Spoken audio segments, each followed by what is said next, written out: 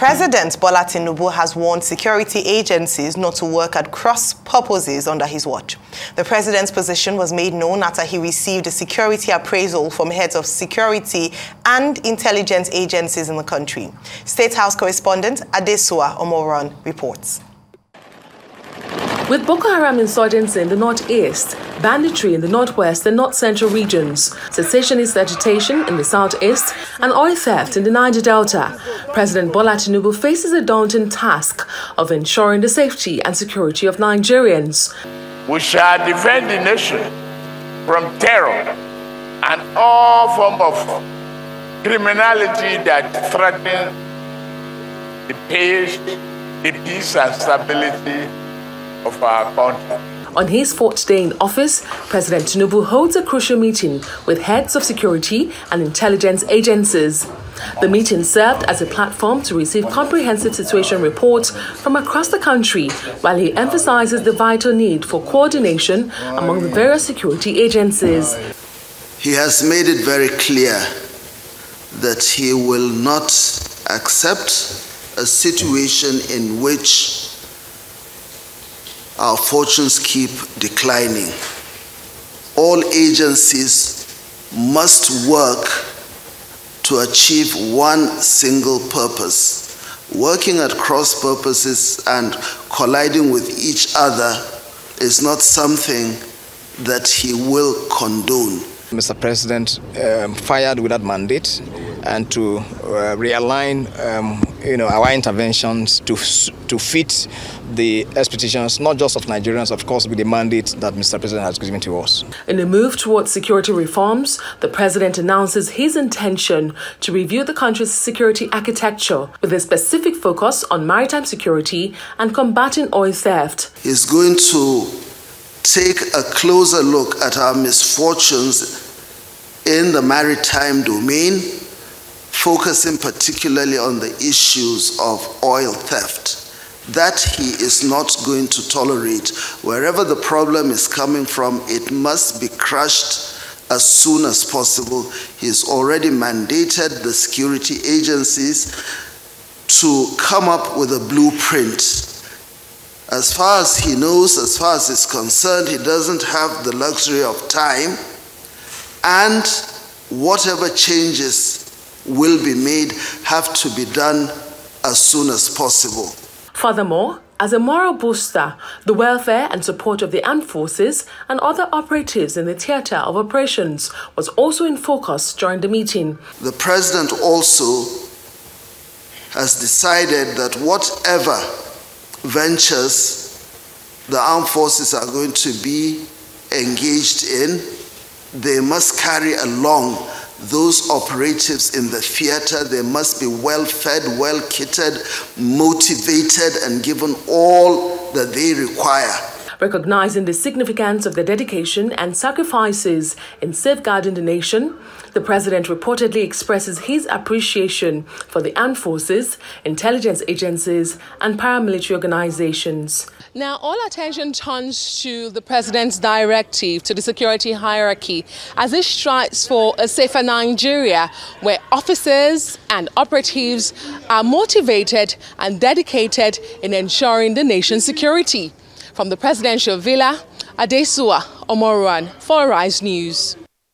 And after he met with security chiefs, President Tinubu received Senate President Ahmad Lawan and Speaker of the House of Representatives, Femi Gbajabiamila. The meeting comes ahead of the inauguration of the 10th National Assembly, which has generated controversy within the ruling APC. Firstly, I've briefed him on what uh, uh, we have been doing in the last uh, few years, just for him to, to be abreast with the situation and what we can do in the next one week, because uh, the ninth, ninth National Assembly, ninth Senate particularly, uh, is going to have his tenure ended on the 11th of uh, June. So it's to give him uh, an update of what we have been able to achieve. We've all seen the benefits of a cordial relationship. Um, not necessarily in bed together, but cordial relationship. We've seen the benefits in the last four years. Unless you, you unless you uh, don't want to be truthful, and we've seen the we've seen the the the other side, where you don't have a cordial relationship, and which one knows for the betterment of Nigeria. I think um, uh, the 10th Assembly, um, for the sake of uh, Nigeria and for the sake of constituents, and having seen what happened in the last four years and what happened in the last eight years, will toe that same line.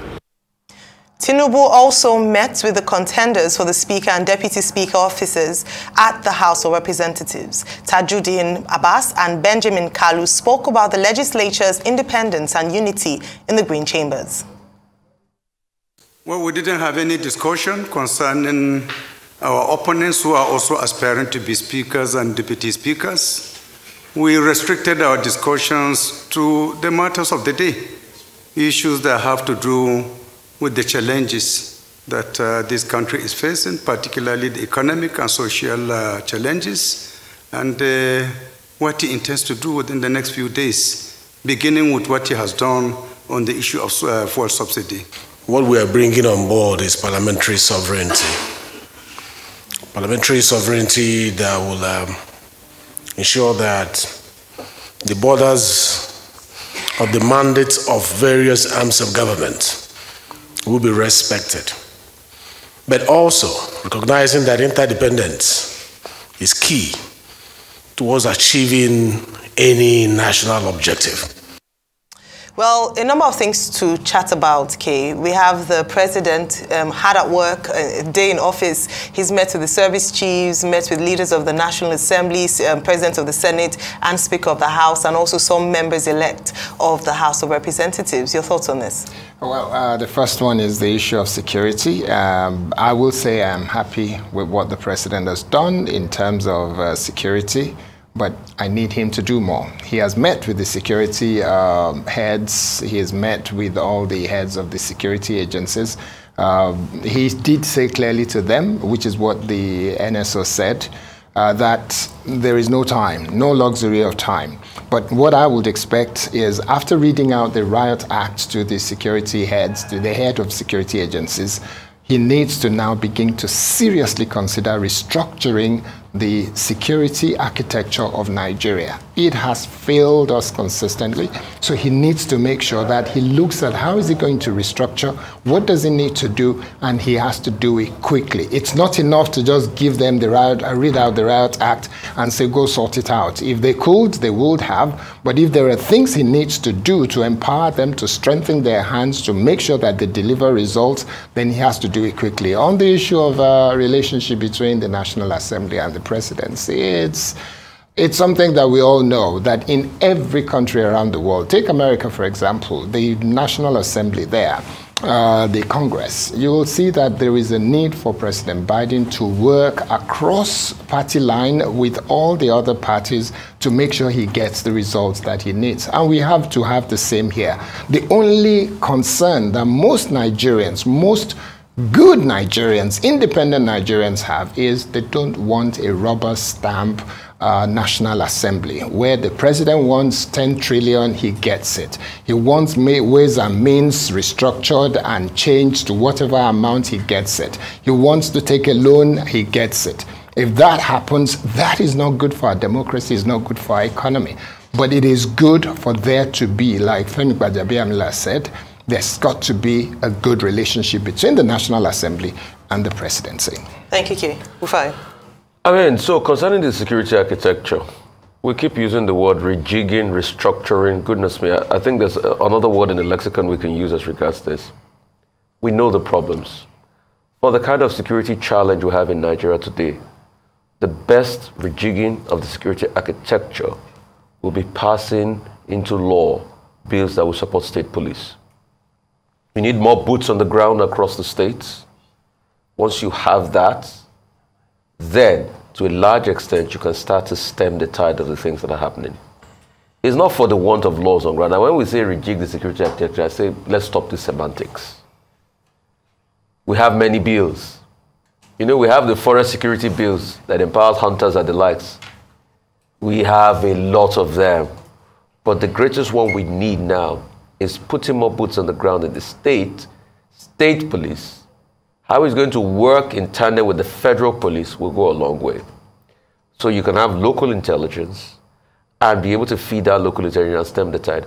I mean, we saw you know, a great reaction as regards the insecurity going on in Ondo once Amotekun came in. I'm not saying they don't have their own challenges, don't get me wrong. But to a large extent, all of the stories we need to hear greatly reduced once Amotekun came in. So it behoves on him, will he be able to do state police? He also is being a proponent of restructuring. For all the problems we have in the states and revenue, will he be able to restructure?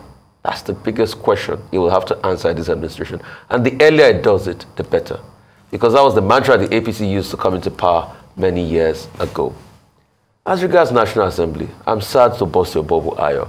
This is looking like another rubber stamp National Assembly. It's going to be. You know why?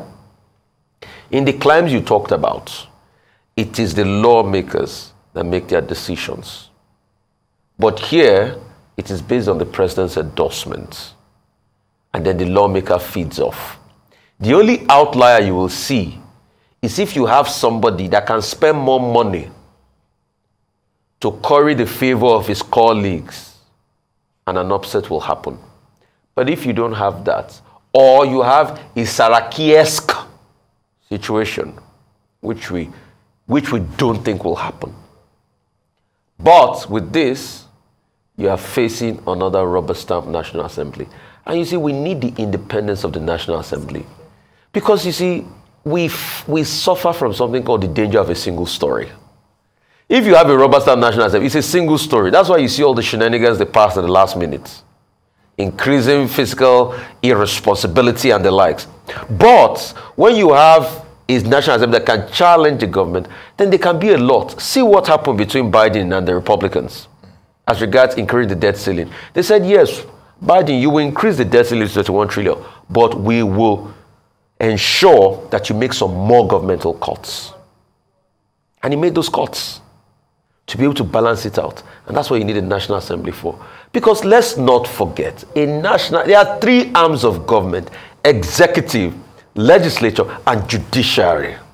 The National Assembly should be standalone, not rubber stamp. It's not an appendage of the executive. But with this, we are going to another rubber stamp National Assembly, and it's sad for Nigeria. I want to just chip in a few things. Um, first, with regards to meetings with security chiefs, chief of defense staff, and this was under the General Security Appraisal Committee, was a maiden edition of that. And what um, had come out of it, you know, you both have already talked about that. But one thing that perhaps we should also consider, or a question I'd like to ask is, can you put old, um, new wine in old wine skin? And this question has come up a lot of times in terms of, as part of restructuring and rejigging, would the president be changing the ch service chiefs? I ask this because um, one of the things that the NSA said was that the president had asked them to create a master plan to tackle the issues of insecurity. And then you, the question begs, what master plan will they create that was different from the previous administration? Because under the previous administration, we were plagued with a number of um, security challenges. We had terrorism, we had banditry, we had kidnapping, and, and the likes. And they were not able to decisively deal with this despite the number of um, announcements they'd made. So, again, asking the question would the president be sustaining or retaining these current service chiefs, or would he be making a change to change indeed completely the security architecture of the nation.